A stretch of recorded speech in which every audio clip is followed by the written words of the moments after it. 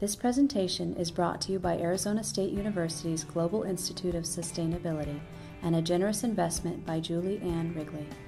Wrigley Lecture Series World renowned thinkers and problem solvers engage the community in dialogues to address sustainability challenges.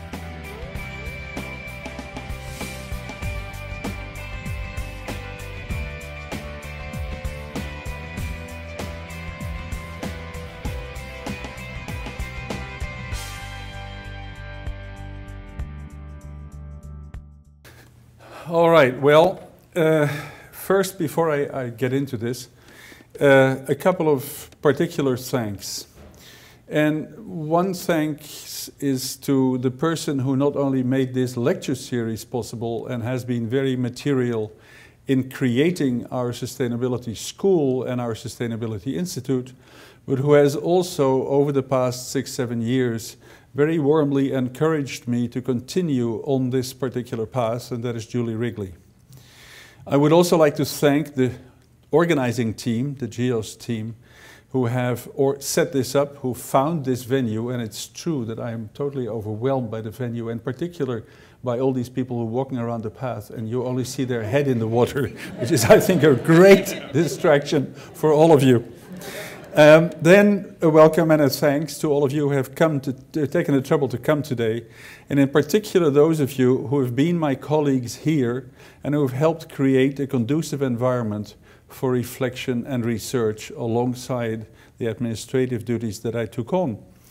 Now, one of the interesting reasons why I feel that although I am only partially from outside Arizona, and I still feel partially from outside Arizona, uh, I, this is appropriate is that I actually realized as I was preparing this that I have hardly ever talked about my own work with anybody of you, with either students or faculty or anything like that. And when I have done it, it's been sort of about fragments of what I've done.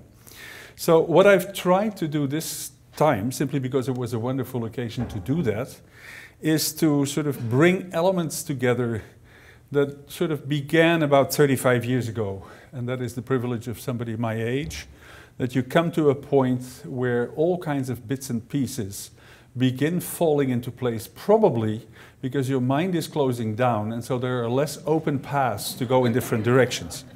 But that is part of it. But I should also thank, in particular, the two teams that worked with me while I was in Europe in part and also after I came here, the Archaeomedes and the ISCOM team, who were also the ones who actually, I think, got me this prize from the United Nations. And behind them, a couple of people in the European Union Research Directorate who were prepared to take huge risks. In their speech, in their sort of way of talking, our project was called a high risk project, which was basically one that was likely to fail. And they nevertheless gave us money. They gave us money altogether for about 15 years, and that has been a huge boon to be able to do this. Finally, after you have listened to all of this, much of it has been published, but it's been published in bits and pieces. And so if there's any particular piece that you'd like to hear more about, I'm quite happy to get you the materials involved. Not everything has been published, but you can imagine that trying to synthesize that long uh, sort of train of thought means that I am oversimplifying to an absolutely intolerable degree, and I hope you will forgive me for the sake of getting the whole thing across and then later being able to sort of uh, get into detail when that is possible. Let me now see if this works, which it does sometimes. Right. I think the starting point for me, now about 25 years ago, is that our linear science, the science that is based on 200, 300 years of experimenting, thinking, uh, trying to find causes and things like that, began increasingly to be insufficient with dealing things in the modern world. And in particular, I think that our impact far exceeds our knowledge. And that is one of the fundamental dilemmas of sustainability. We act upon the environment, and you'll see through the whole theme of this lecture the fact that our action upon the environment creates unintended consequences which we can't even begin to see, let alone to understand. And so, on the other hand, what is interesting in the present day and age, with the information revolution, and I'll get back to that towards the end of my talk, there is a new potential to completely change the way we actually understand things. And that is the challenge, I think, that we're working towards, and the challenge that I hope will ultimately serve us right in trying to deal with sustainability issues.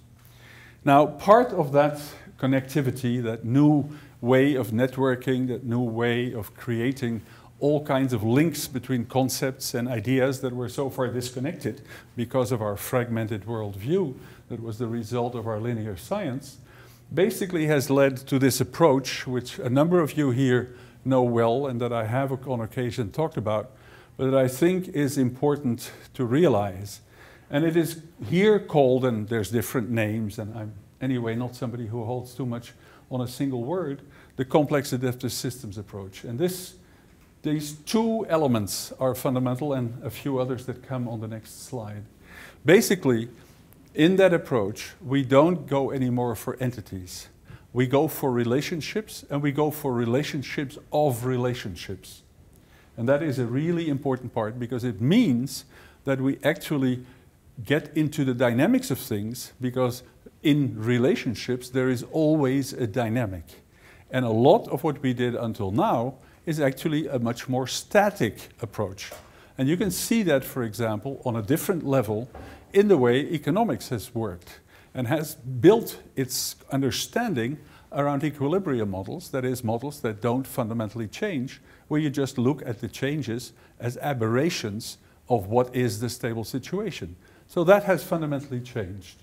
And another important part of all of this is that these systems are adaptive, that the individual behavior, the collective behavior, makes them self organize in ways that could not be determined by anybody whether bottom up or top down.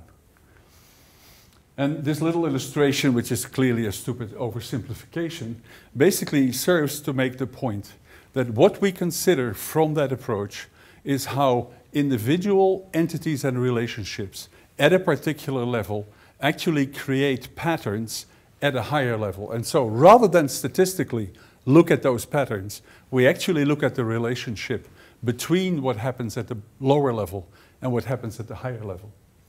The other aspect, and that is something that in this university I don't really have to argue, is that this approach tries to bring many disciplines together. And one of the fundamental aspects that it has helped doing so is that it brings back historical trajectories into the hard sciences, whether it's astronomy or physics or chemistry, now, in this particular approach, which looks at how things emerge rather than at how you look back and sort of try and identify their origin, that historical trajectory of emergence is now something that gets to be accepted in the, number of the natural sciences, and the life sciences have clearly played a major role in all of that. Uh, another particular aspect is that in the evolution of such systems, there are moments when, as an individual or a stakeholder, there's nothing you can do. The process is so dominant that it'll go that way no matter what you do. And there are other moments when that is not the case, when very tiny variations, this famous butterfly effect that everybody now knows about thanks to television, actually allow us to change things. Another aspect of it is that we have tried to find different ways of beginning to understand this because of the complexity of these phenomena. And in particular, this has led to a resurgence in the last 20 years of model building of all kinds of different kinds. And there is a number of people here in the university that are very actively involved in doing that. And then there's one other element which is not always part of what complex systems is all about, but one that I think is really important. Most of science, as long as it was sort of in the realm of the Royal Society, was built on proving every step. Well, in order to prove something, you can only relate the present to the past, because that's what you can see. You can't relate the present to the future. And I think in the sustainability case, we need to actually learn for the future and not just from the past. And that has its own challenges, and I'll get back to those later on. So that being said, and this is, was a bit theoretical and sort of probably the most complex of all the slides that I'm going to show, I'm here going to basically argue that humans are clearly part of an infinitely complex system that is the Earth system. And much of the thrust of my, of my talk is going to be that we have always and still don't really understand it and therefore cannot understand what we're doing in it and what the effects are of what we're doing. So a number of things characterize this system and any complex system. And one of them is that it has so many dimensions that you cannot possibly grasp all those dimensions. And that creates these unintended consequences very many stakeholders, people, plants, animals, planets, impact the trajectory of that system. Another very important part of it is that you never know what's going to happen next. So the trajectory is always open-ended. You can never predict exactly what the outcome of any action is going to be, not even of an engineering innovation, because that will create effects in society, and those effects in society will then run away with this innovation and in part make something else of it. Uh, the other thing is that because of that, we don't have any long-term predictability. So, we can't currently comprehend such a system. Our minds are wired in such a way that we have a limit to the number of dimensions we can actually, at any point in time, relate together and collectively it's the same thing. And we'll get to that more. Now, another element that is important here is that much of biology for a long time, and a lot of the sciences, have argued that what distinguishes human beings is actually that they can learn. That's outdated. So many animals can learn in different ways and in to different extents that that doesn't make any sense to distinguish. What I would argue that instead of that, is a much more sensible distinction between our species and all other species is not only that they learn how to learn, but they can organize themselves, they can organize their ideas in categorizing them, they can organize their environment, look here at the bridge and everything else that we've done, and more than that, at the core, we can, as human beings, experiment, plan, and the crucial word here is design. We are about designing. We cannot not design. Sometimes we don't design very well, but nevertheless, we always design. So what I'm basically arguing here is that rather than do something that biologists for a long time have done, it is to look at a population statistically and at the individuals in that population individually, and this is something that's still very uh, everywhere in medicine, for example, we need to start looking at an organization perspective. We need to look at the organizations that we have and how they impact. But in order to get an organization going, you need to process information. And that is this slide. Basically, of the three basic commodities, energy, matter, and information, energy and matter are subject to the conservation principle, which basically means we can't share them. That if I throw you, as I did originally with my students until we didn't have them anymore, a piece of chalk in the first row. And people start sort of. That makes the point that when that person gets it, I don't have it anymore. I cannot share matter in that sense. I can cut it in the middle and we both have a bit, but I can't share the whole thing. The same goes for energy. The one thing that we can share is information, is learning, is knowledge, and that is what keeps societies together. That is what brings societies together. And it, why do we do that? Well, because it's by organizing ourselves and our society that we actually then are able from the environment to draw the energy and the matter that we need to feed ourselves and to sustain ourselves. So what I'm going to do in the first part of this talk, now that all of this, history, this uh, theory is done, is go look at the history of human information processing. That is the history of human cognition. Oops. Yes. And I'm going to divide that up in four stages. One is the, the really long term, from two and a half million years ago to about 70,000 years ago. And that is the time when the evolution of our cognitive capacity was very strongly limited by our biological evolution. And I'm not going to go into detail, I'm just going to show you a little bit of the effect of that. The second stage is when humans began to develop particular tools for thought in such a number that they can begin to interact differently with their environment. That comes to fruition in the third stage, 13 to 7,000 years ago, when interactivity with the environment becomes the dominant theme. And then finally, in the fourth phase, the emphasis and the difficulties shift from having impact on the environment and dealing with the challenges of the environment to actually dealing with social challenges. Because by that point, the groups that we bring together in order to organize ourselves are so big that we get all kinds of conflicts. So let's go to that first, first stage first. This is a very simple graph which brings together a huge amount of data from different people, which basically is the evolution of the proportion of body size to brain size.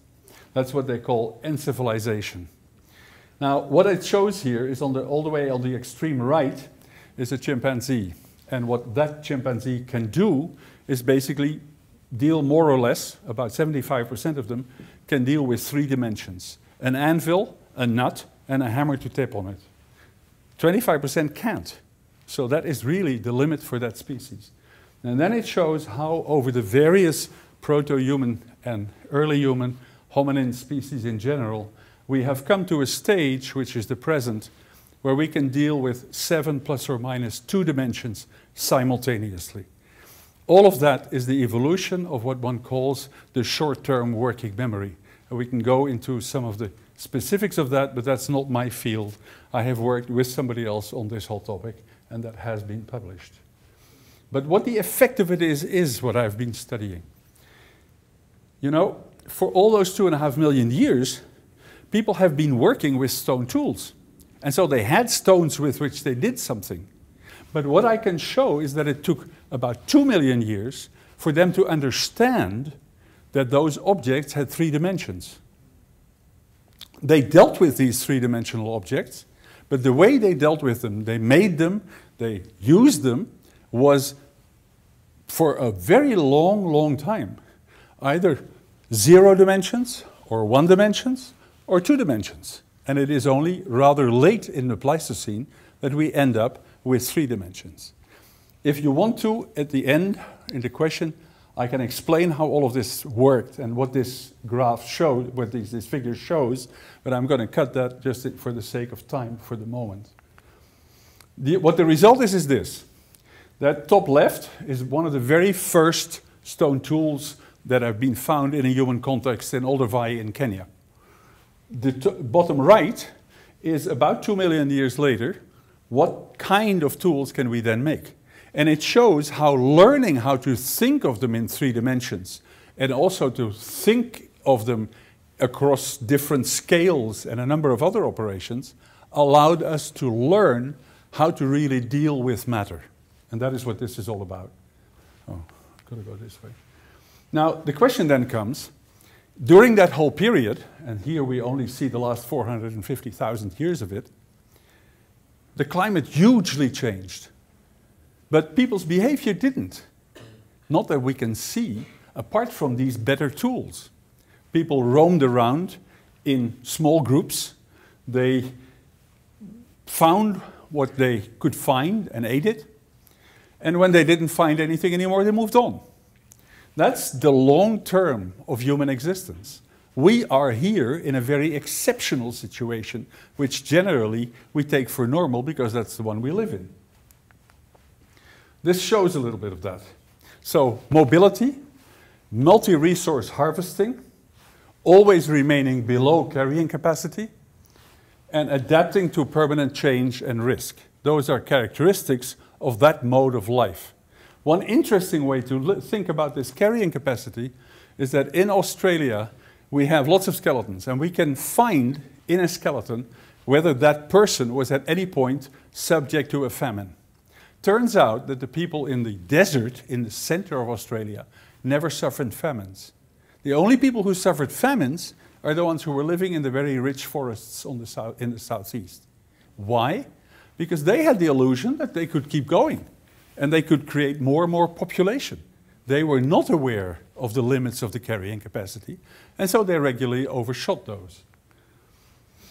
So the second stage, this is a sort of transition phase between that long-term mobile hunter-gatherer situation and what comes after, which is the Neolithic, which is where people set, settle and have a very different lifestyle.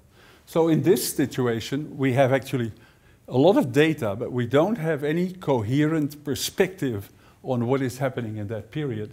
So I have to sort of put a few things together to give you a general sense. So what is crucial, I think, at that point, what we see from the artifacts, because people start making all kinds of new artifacts, is that the biology is no longer the constraint. What happens now is a social constraint. Is a social constraint simply because we have to learn how to create tools for thought and to link tools for thought in order to be able to think more and more complexly and deal with more and more complex situations.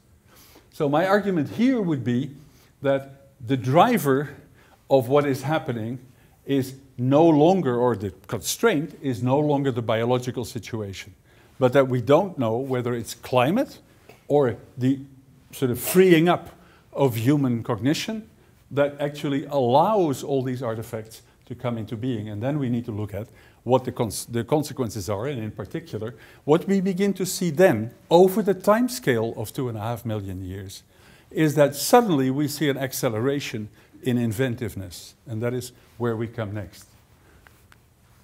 So what are the tools for thought that are available sort of around 3,500, uh, 35,000 before the current era? On the one hand, there's this interesting thing that people are able to distinguish reality and conception. They can change how they intervene on stone tools. So they can make plans that are alternatives to the ones that they actually have executed. And that basically means that they can distinguish between ideas that they may want to implement and implementations that is between reality and conception. They categorize, they recognize patterns. That is evident because you see many different kinds of stone tools emerge that differ functionally but also differ in shape and so on and so forth. So those categories are basic. What is interesting if you study the technology in much more detail is that you get feedback mechanisms that get in there in the sense that people are beginning to look at the results of what they've done and then try and modify those results. But also, and that is much more interesting from my perspective here, is we see feed-forward mechanisms. And in much of our current science, we actually don't pay much attention to those. But people start anticipating. And because of the fact that about 200,000 years ago, there is a fundamental modification in brain structure in which the frontal lobe emerged, which allows linking past, present, and future. That begins to allow people to start anticipating. And what we see in the stone tool technology here is that people get better and better and stretch longer and longer their anticipation in the process of stone tool manufacture. Basic hierarchies, small things, larger things, very large things. I am not going to go into that. Also partonomies in the sense of that word is a bit difficult, but I had to fit it in one word. Um, it basically means that you can study the relationships between a whole and its parts. And you can dismantle the whole into its parts and compose the whole from the parts in both directions, because only if it's in both directions can you argue that this is real. And then finally, I had, I had again there the anticipation, which is due to the production, uh, the separation of production stages. One of the fantastic examples, of course, is the way people start taking three-dimensional objects and project them on two dimensions with a life-likeness that is absolutely ex exceptional. These are some of the tools that are being created, but still people live in very small groups. They now don't only make tools out of one piece of stone, but they have several bits that they put together. Some of these tools that they make, for example, these bone fish hooks, are very focused on a particular kind of subsistence economy. So there is a specialization in subsistence strategy. And what we see, which is very difficult to show like this, is that people begin to territorialize. People start no longer moving around all over the place, but to actually focus on a particular area because there they have a particular kind of way of feeding themselves, a particular familiarity with the landscape, and so on and so forth. Now, what happens next is really strange. We see an explosion that has led us from that moment over the last 10,000 years to the present situation. But interestingly, the climate stays stable for that whole period. So the climate is out as a driver. And that is an important part of my earlier argument about the role of climate in all of this. Now, strangely enough, this graph you need to read from right to left. is the only one, but that's the way these people think about these things. Nothing I can do about it. So change accelerates when the Holocene climate is stable. And why is that? Well, I think because a completely new way of life emerges. And some of the outside phenomena are this. People start investing in the environment. They've never done that before. They've harvested things that presented themselves to them and that they could use. But now, agriculture, cultivation, means that you have to clear off a bunch of forest. You have to take all those horrible stubs out because these trees are huge because they've never been attacked. You then need to sort of plow the earth, seed things, and you need to wait until they come back up again. And with stock raising, it's even more so because you need several years for any herd to be sufficient so that you can actually live off it. So we see lots of new technologies. We see pottery, we see basketry.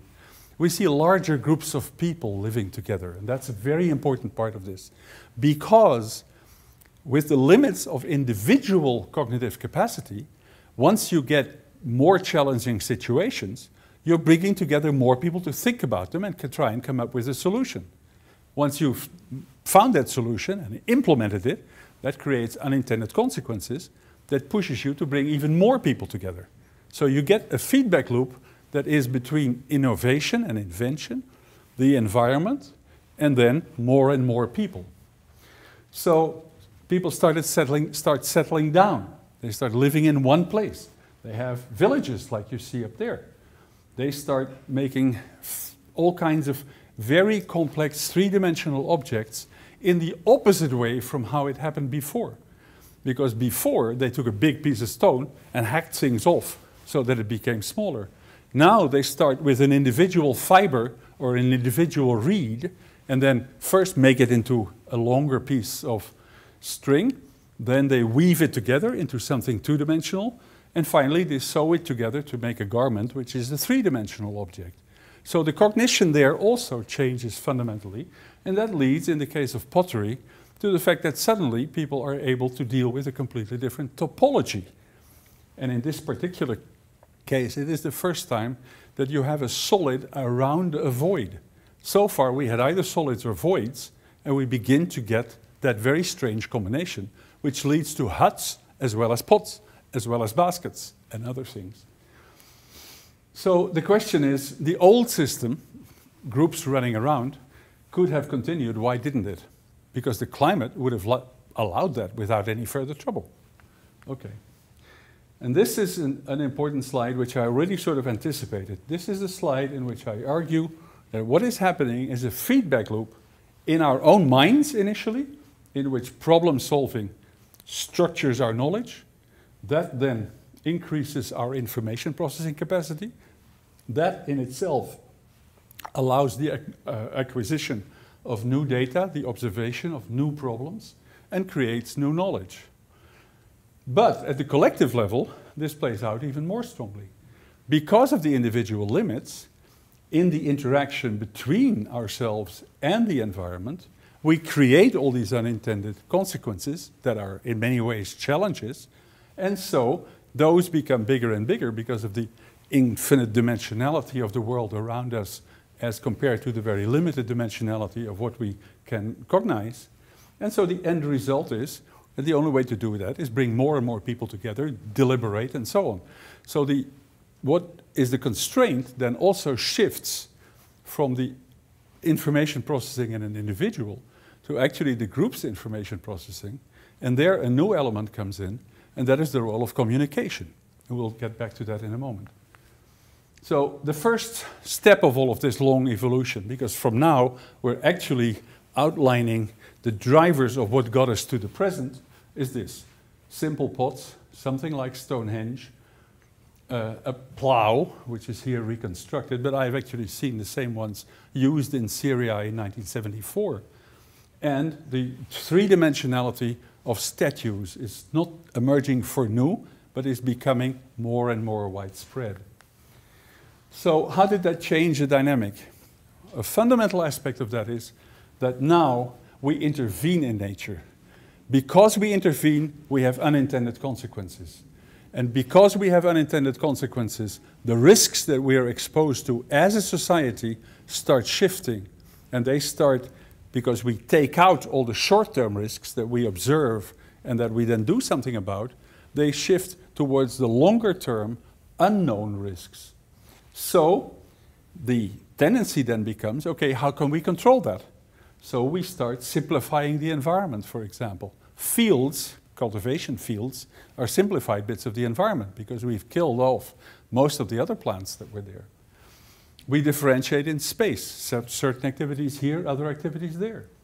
So, in a sense, the emphasis then is no longer one of feeding yourself, that remains a problem, but we're more and more confronted with larger problems that need to be solved. And that focuses us on collaboration, communication, and so on, and group growth. But the result of that is, of course, and I mentioned that before, that suddenly the cost is growing of our social complexity and the fact that we need to deal with all the conflicts that that entails. And anybody working in a university knows how bad they are. So, what happens then is that more and more people start living together. And so we see the first cities. For a long time, about cities, the argument was that they were more efficient from an energy perspective. If you think about it, the more people you bring together, the further you have to go to get the food to feed them.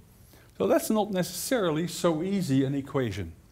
And so my argument is that what brings cities together is the need to process more and more information together and to shorten the communication links, and in particular, the time it takes to find exactly the right person that you need to solve a particular problem.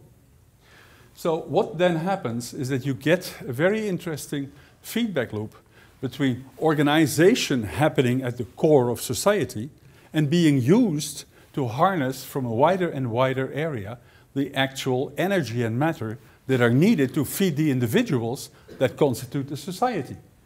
That means that in the core of that society, and that is in the towns, we need to keep innovating because we need to keep interesting people to be part of this. If they all know what's going on, then they can go their own way. And we see many instances of that.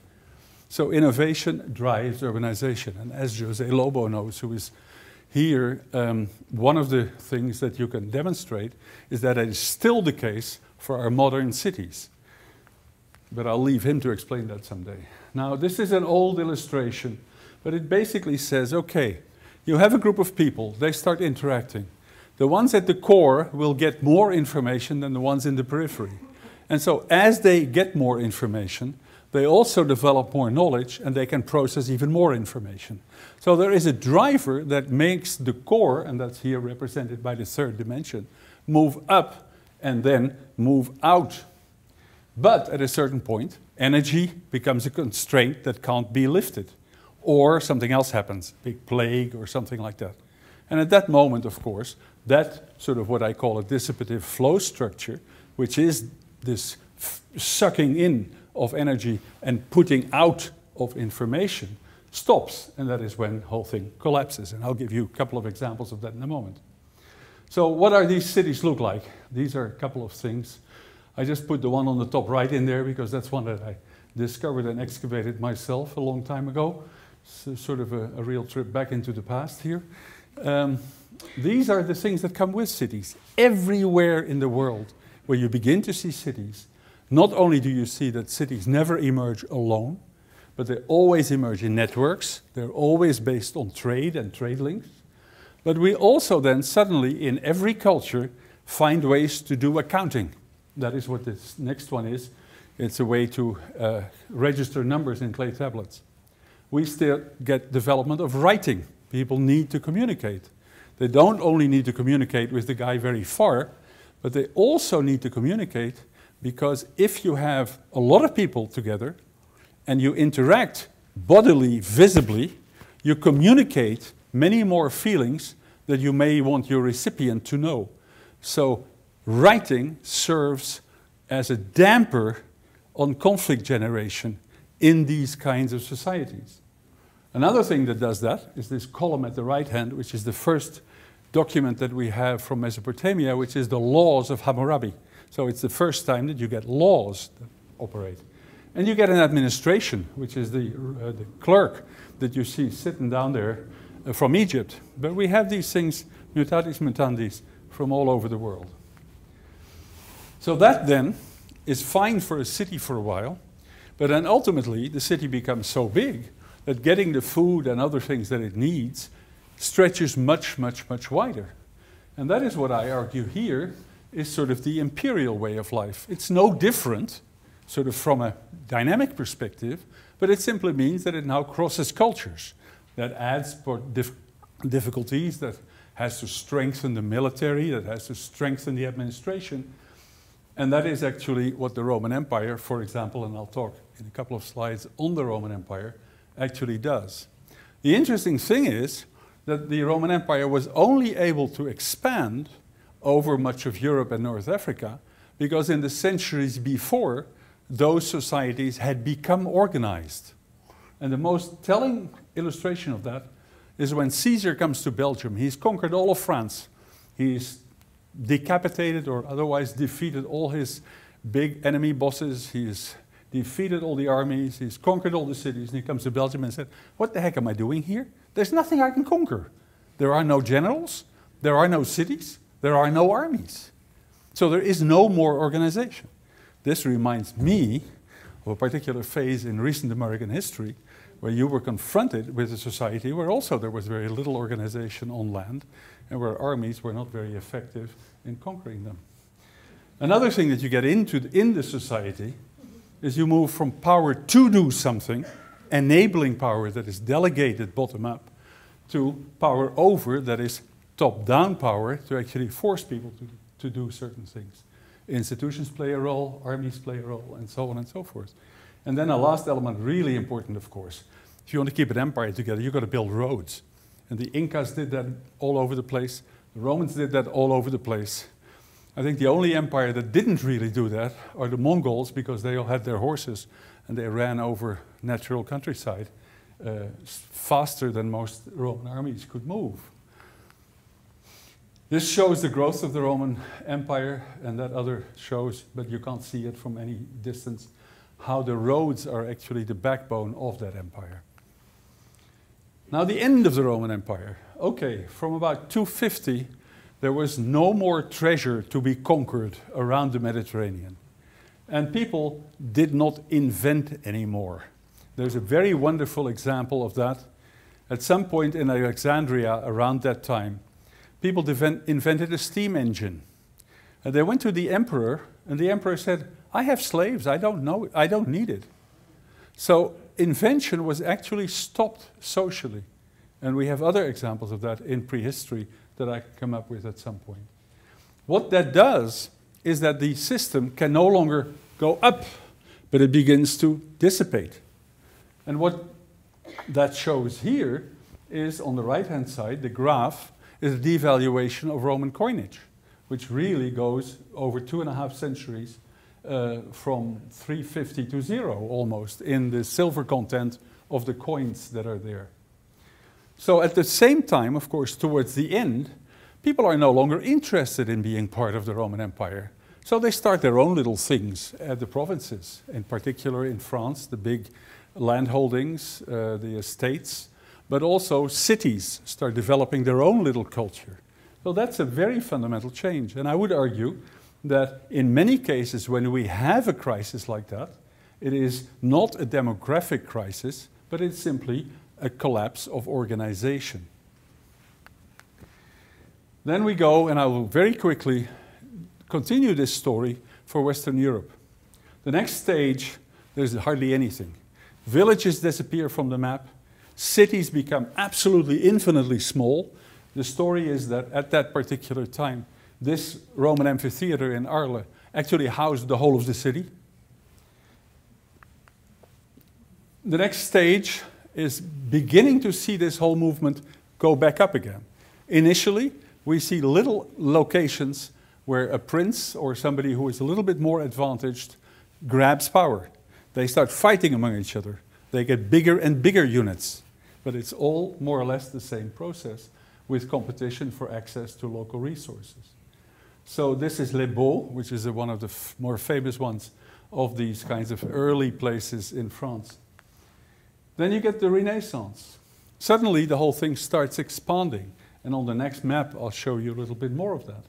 But it's not only that it starts expanding geographically, at the same time, the information processing becomes richer, which is what you see here. You see these buildings in Venice, you see Leonardo, and you see actually the uh, ruler of Venice uh, in that kind of time. Now, what has happened here is that the various cities in Italy and the cities in northwestern Europe, close to England, in the Low Countries, are suddenly linking up with roads, with uh, annual fairs and things like that. So we see again a growth of this system, which I think is best illustrated maybe on the next map if I can get there. Uh, at the top left, you basically see that the very early stage, the stage of let's say about a thousand, is, is cities, individual dots on the map that are linked by trade routes but not, not maps. The next stage is the Renaissance, when each individual city in Italy, but also in Northern Europe, starts expanding and creates a territory around it. And then finally, these are the various stages of the unification of France, which took about 500 years, and which then finally brought a whole territory together. So you see this growth emerging. What you see next is the modern world. Suddenly, we end up with 1492. We end up with needing resources from a much wider area, creating the technology to go and get them, creating the organization to go and get them, the East Indies companies, the armies over there, and so on and so forth. Now, one of the interesting things that happens here is that that is the era at which cities are actually dominant because they have the money. The princes have nothing. They borrow and they borrow and they borrow, and then it goes broke, and then they start all over again. What is important about this is that that is the introduction of market systems, that is, decentralized systems that become important. Whereas the hierarchical systems that the original rulers come out of are losing in importance. So we see that sort of happening this is a map that shows how this expands in the world. And I'm sorry that the visual images are not very easy in this particular room. This is the first time we tried this room. And it would be better if we could get them a bit sharper. But anyway, next big stage is that political and economic power get in cahoots. The cities and the princes get into a dependency relationship that allows the heterarchical system, the market system, and the centralized system to process information together. And I can give you at some point the reasons why that is systemically inevitable. It has nothing to do with these princes or with these cities, but from an information processing perspective, that is fundamental. So what we start doing is get inter intercontinental resource acquisition, but that also means that we get a different dynamic in which little by little, the people at the periphery, just like in the case of the Roman Empire, start learning the tricks that were there in the center. And so, unless the center can keep going faster and faster, they lose their power over the periphery. That's a lot of what you have seen after the Second World War with decolonization. So, at the same time, you see a shift in that period between 1600 and 1800, and in particular close to 1800, towards more and more industry. That becomes more important than agriculture. This is sort of how the world map changes. And then we get to a very crucial point. Around 1800, we have all over Europe a set of semi revolutions exploding on us, whether this is the French Revolution or the ones that follow in Germany and in other places. The system is under such stress that I would argue that it would have collapsed but for one thing. And the but for one thing is the increasing use of fossil energy. Suddenly, by tapping into coal and later oil and inventing machines to use that energy in a more effective way, we give Western society a new lease of life. Because suddenly we take away the energy constraints of our innovation potential.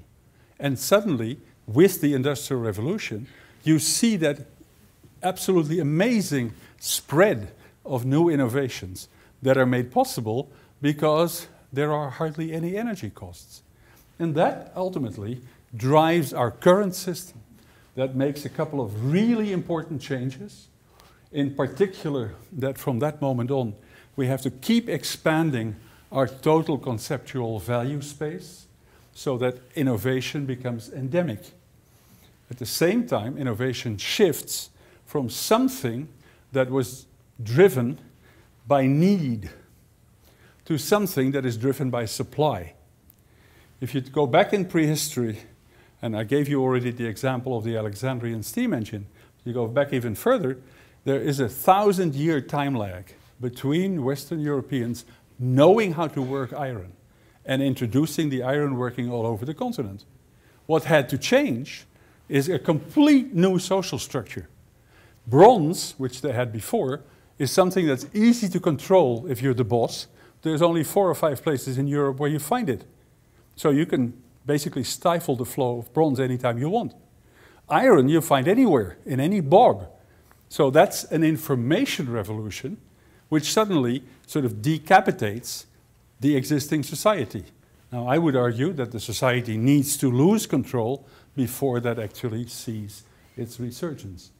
Where we are getting now is that in that dependency of ourselves on innovation, we have to go faster and faster and faster. And that's clearly what we've seen over the last 60 years. We get thereby also into our sustainability predicament.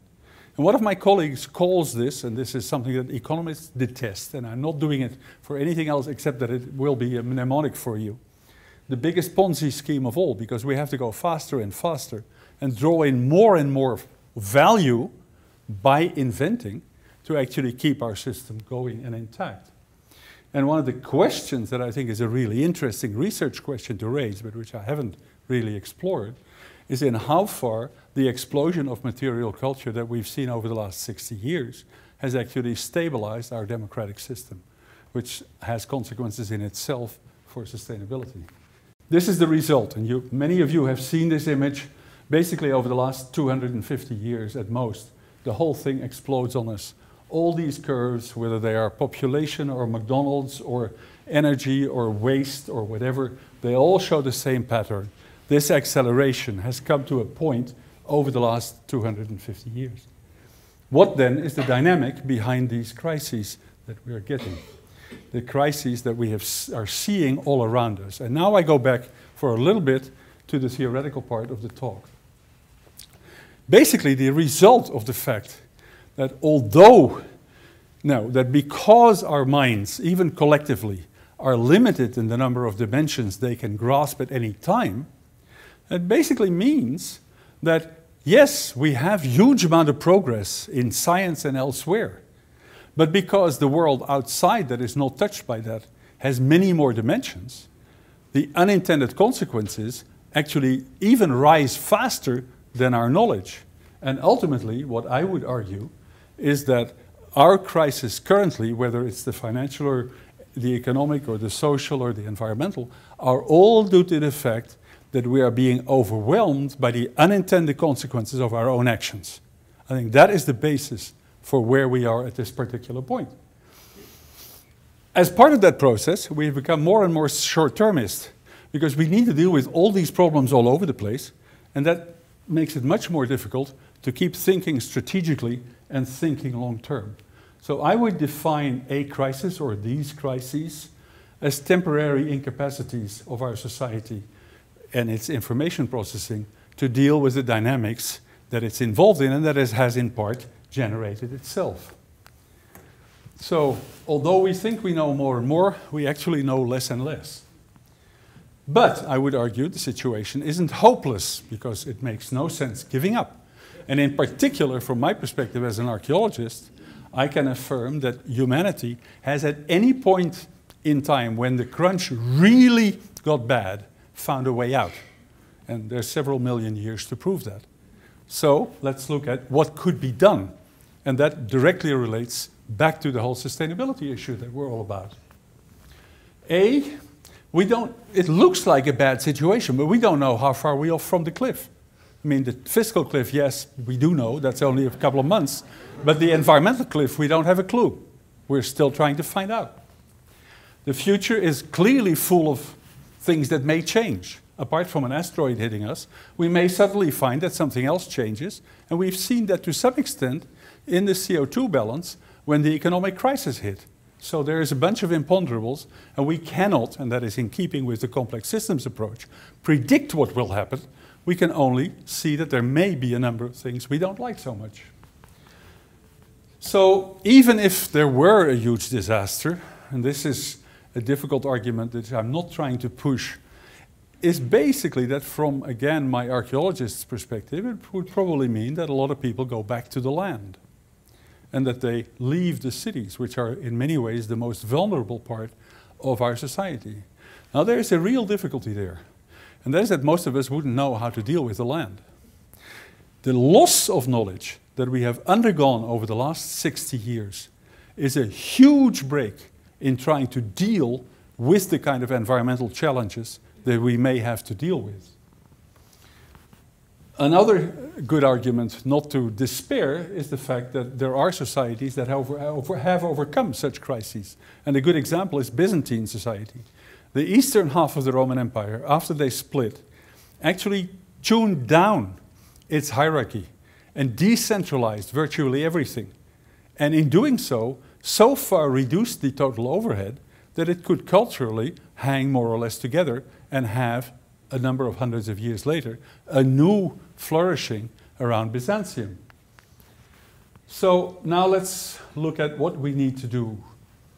And one of the things I want to uh, accentuate here is that in this development towards what I call the Ponzi scheme, we have effectively also changed our philosophy about the past and the future. It's a very interesting study by René Girard, who argues that in the 16th, 17th century, if something didn't fit, people would refer to history and say it doesn't fit because in history it wasn't like that. By now, we only value innovation, we only value change. So our mindset about where we are has changed. Our mindset about our time perspective has changed. Society has become innovation dependent, I said that. But more importantly, I think, and a real issue that we need to deal with in sustainability, is that our economy and our need to drive up GDP is now such that we innovate n'importe quoi, anything. And as soon as somebody has discovered it, we stuff it down our own throats and we actually accept it. Uh, we can call this for cell phones, we can call it for a lot of things. And I'm not saying that these inventions are not, don't have their positive side. But what I am saying is that a too rapid an accumulation of inventions like that really disorganizes society because every invention needs the society to adapt to it. And if you go too fast, you can't do that. I heard Michael Crow say a number of years ago that the real threat about nanotechnology, for example, is that people don't know anymore what's happening. You can be breathing the most foulest of things without even realizing that you're doing it. You can't even imagine what it's like. So we are basically exceeding there our own cognitive capacities. So we need to rethink innovation. And that is what I've been working on over the last eight years. Basically saying, our classical science, because it was all reductionist, basically whenever innovation or creativity came, it put it in a box on the side, a black box on the side. We can't deal with this as scientists, so it's not important. We deal with the conditions under which it happens, and we deal with the results in our economy. But we don't study the process of innovation, and as such, we don't really know how innovation works. And that is where Jose and a couple of other people and myself have been working in recent years, trying to begin to see whether if you really look at the process of creation, there isn't some logic to that, that from a complex systems perspective, you could try and grasp, because that is a perspective that looks at emergence of new things, whereas our pre-existing origins perspective doesn't in any way allow that. So that's ongoing. That's not something where we're done, but in particular, with the help of Deborah Strumsky, we're losing, looking at all the eight and a half million patents that the US has uh, in its database, and that we, for the first time, and I was really surprised by this, we started looking at it as historians, and nobody has done that. And so we came to very different conclusions about the role of that whole process. Okay, so part of this is that for sustainability, we have always been looking forward. But at the same time, for innovation, we have been looking backward. We have been looking what the result of it is. We need to complement, in each case, that particular perspective with its obverse. We need to start looking in a backcasting way on sustainability. We need to decide socially what kind of future do we want, and then sort of start saying, well, how do we get there? At the same time, we need to start looking at innovation from the perspective of if once there was nothing, now we're creating something. So my conclusion here is that we need to move to what is what I would call adaptive design. What we do in most cases is we design things for stability, and we should be designing things for change. And I know there's at least one architect in the room who I will not call, who is, I think, sensitive to these things. But I recently gave a, a lecture to a whole collection of architects here in the valley, and I think that became a really interesting point of discussion. So we, in that context, we don't only need to learn from the past, as I said, but we need to learn for the future. What is the difference? Well, for our relation with the past, we can construct causative narratives. For the future, we can't. So we have to start thinking a different way no longer linearly, but in terms of alternatives. And that is, I think, something that we need to stimulate in our children. What we do is they come to class very early, and the teacher has two options either to socialize the students or to stimulate their creativity. It's a lot easier to socialize them. How do, are they socialized? By telling them stories that everybody shares. That basically, I think, at least reduces their native and, and in, inherent capacity to think in terms of alternatives and to start at every moment thinking, well, what else could have happened? And I think that is an educational problem that we're beginning to deal with in our new program on sustainability science for teachers, because Lee Hartwell and I sort of hit it off on that one. So that is that much. I'm getting quite close. Um, I don't know how far we are. Oh, we're not that bad, actually. I have one more minute. That's okay. I, will probably use about four or five, but nevertheless.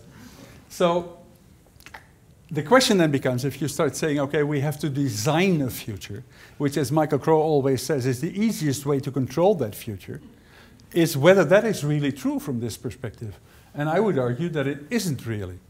Because even if you design, there will always be these unintended consequences. And you cannot make that design last forever. And then I come to a phrase, the planner's fallacy, that I took from Kahneman, who is the Nobel Prize winner in cognitive science, and who basically pointed out that most planners overrate the time over which their plan will actually be relevant, active, doable, and so on and so forth. So we need to start thinking very, very differently about what we design we need to design resilient systems. And then finally, we have the information revolution. And there I'm going to be really, really short and go immediately to the next thing. One of the things is we need to fuse what information technology does and what we do in our own lives.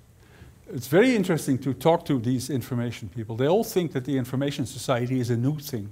Well, I would argue that it was there since the Paleolithic but that we simply get a new technology to enhance it. And that's a very important one, and one that may help us get out of the problems where we are. But nevertheless, I think uh, that is not a new thing in that sense. So uh, here are some suggestions about things that I think that can be done. And we're working in a project in Europe to realize, in particular, some of those first three things in using information technology to get to people in a different way. And we need to, as I said, spread computational thinking in society and generalized information processing thinking in computer science. That is a difficult uh, boundary that we need to conquer and that we need to get over. The other thing that information technology can do is the massive data evolution can undermine something that has made us very past dependent in our thinking. And it is the fact that our theories are always heavily underdetermined by our observations, simply because we can't observe enough instances to get a sense that we can actually sort out on a real basis rather than intuitively what our theories actually should be, how we should explain many phenomena. So big data helps there. Another thing I think is trying to overcome the limitations of this short-term working memory. That entails, in particular, that we start using our computers in a very different way. We should start using our computers not in the way we have traditionally done, but to actually learn for the future. That is, we should use computers to enhance the number of dimensions that are implicated in any particular problem, rather than reduce them so that we can understand them in our own minds. There's a very interesting uh, attempt at that is going on currently at Harvard in the medical domain, that at a colloquium that George and Anna and I organized last June came out, where a man called Walter Fontana is creating a system where on the basis of a set of data, he creates the thousands of potential hypotheses that can actually link those data, and then goes the next step and looks at which ones are the more probable, which is, I think, a really interesting way to go that way. Okay. Uh, there's, after this is only one more slide, okay? So, complex systems, we have said, are unpredictable in the long term. We need to start looking at feed forward and feed back together. We need to come up with a relational logic that actually does that. And one person who is working on that in Europe is a man called Belknap, who I can give you the citation for. And then finally, we need to look at, and that is a really important task that as complex systems people here in the university we feel we should propagate, is basically look at decision making under uncertainty in a different way and look at it as a complex system by itself with all the actors involved. And one of the things that I found in Europe that we all look for this decision maker, right? Who is the person we aim our model at. Well, in most cases, it doesn't exist because most decisions are made by default simply because nobody thinks about anything else. And that's a really interesting lesson. And when you start looking at decision making on a more uh, sort of systematic basis, you come up with a number of things like that. So, another part of that is more forecasting, more futuring, more scenarios. We have a huge need for more scenarios, and in particular, making scenarios right now is in the hands of industry or government. And there's very little that goes on in academia. And so there's very little that is on forecasting and that is actually has the, the sort of critical aspect of what academic, dis academic disciplines are all about. And I would argue that we need more of that. And then finally, we need to evaluate the things that we choose against the things that we haven't chosen. Now, and this is not very much. I will leave that one because I am over time, and this would be a long story to explain. So thank you very much. We'll leave it at that.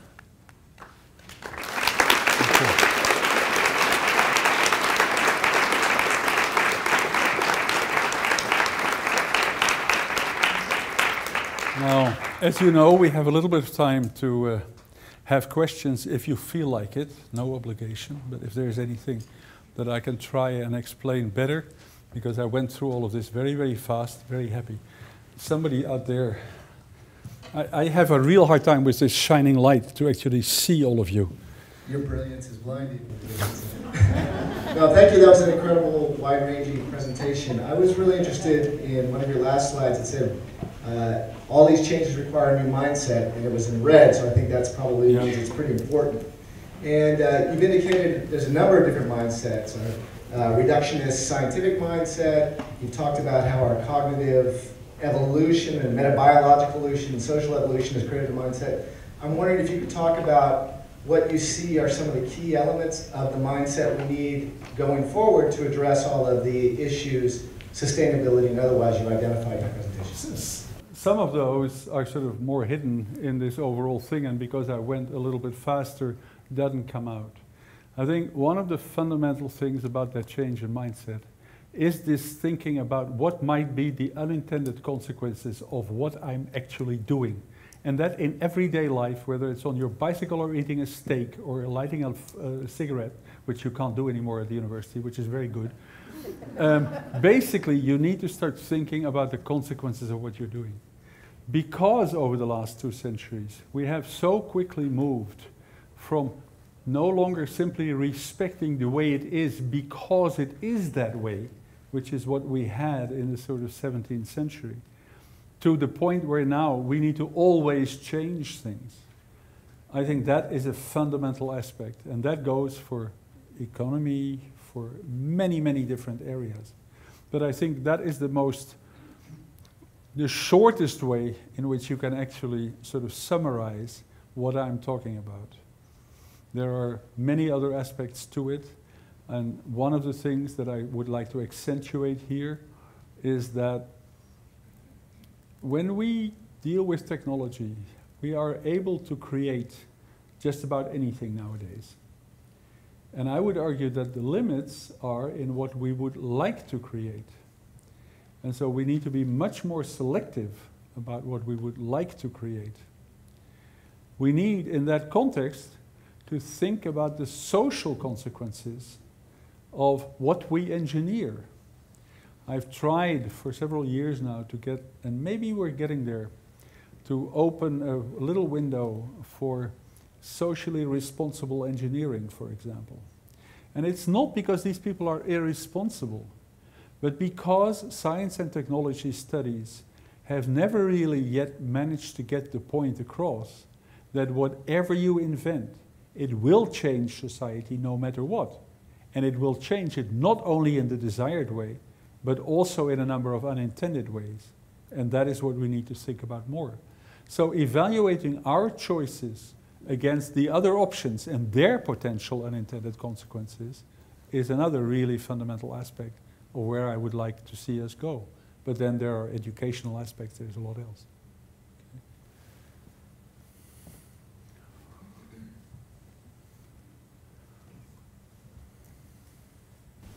Thank you for a very stimulating presentation.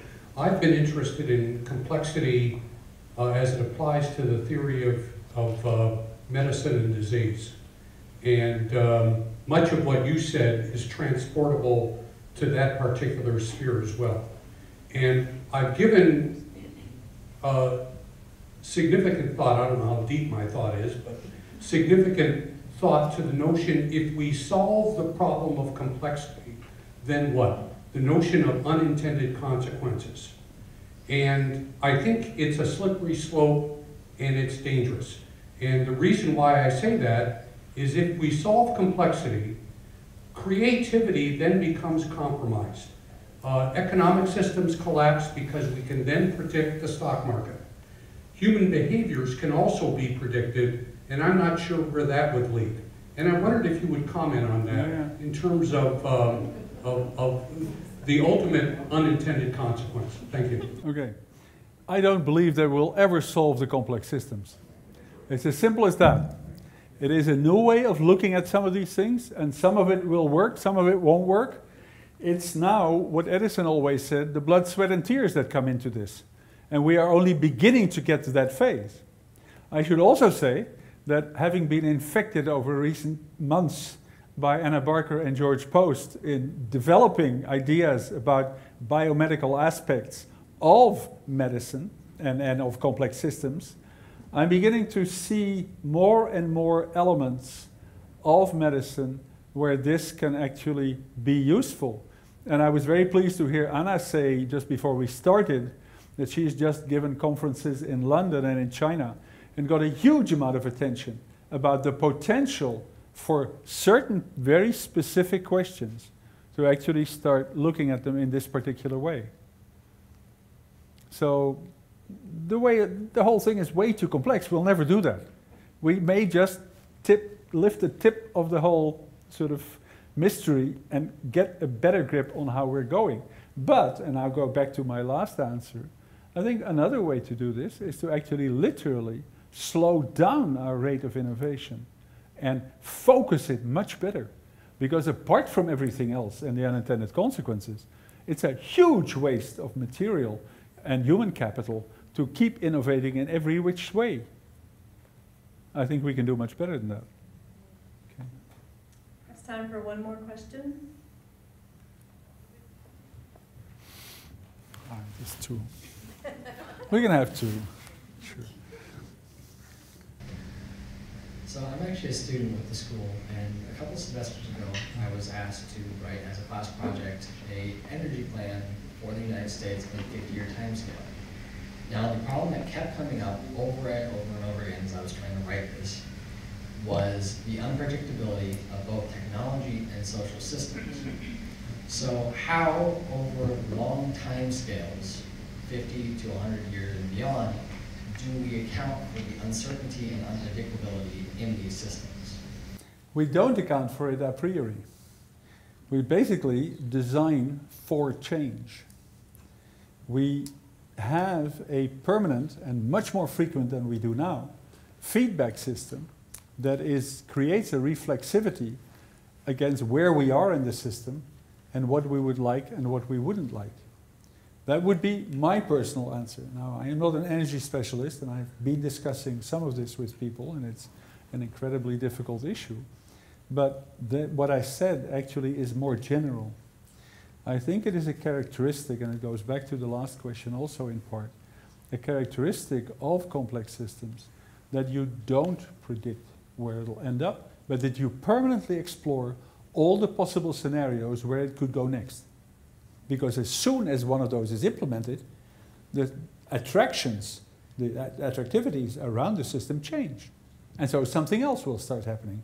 There will always be a dose of unpredictable in it. Hence this idea of adaptive design and trying to begin to think about that. Now, he, he over there. Philip. Hi. Um, first, thank you for an amazing lecture. I think all my colleagues really enjoyed it. But um, when you say focus your our innovation, do you think it's more productive to focus on things like uh, complex systems? Or is it more productive to focus on building off the research advantage? I am not arguing for one kind of innovation or another.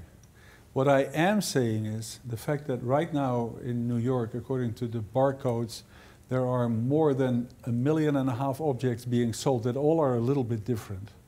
Question is, do we really need to keep going in that path? If we look at the last 50 years, that's been a huge explosion. And so I would argue maybe we can do with a few fewer gadgets, you know, and maybe we can do, and this is another really interesting uh, aspect, and I'm glad you raised that because I forgot to talk about that earlier on.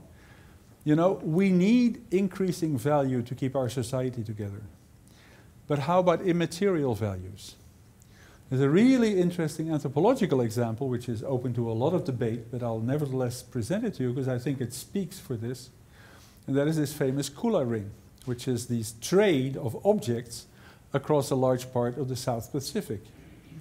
Now, in order to trade things, you always want to trade up. So you want something that has more value. Interesting thing is that these objects keep circulating and they're the same objects.